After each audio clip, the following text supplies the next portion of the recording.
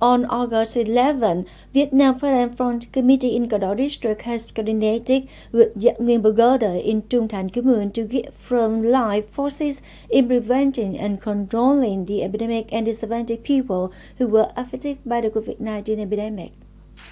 1,000 aides were sent to the district military command to transfer to the forces on duty in the concentrated isolation areas of Cờ Đỏ District. 100 gifts were given directly at home by Venerable Thích Quang Phước abbot of Giác Nguyên Pagoda in Trung Thạnh Commune and directly come to the home of the disadvantaged people in Xuân and Thới Đông communes. Each gift is worth about 300,000 dong.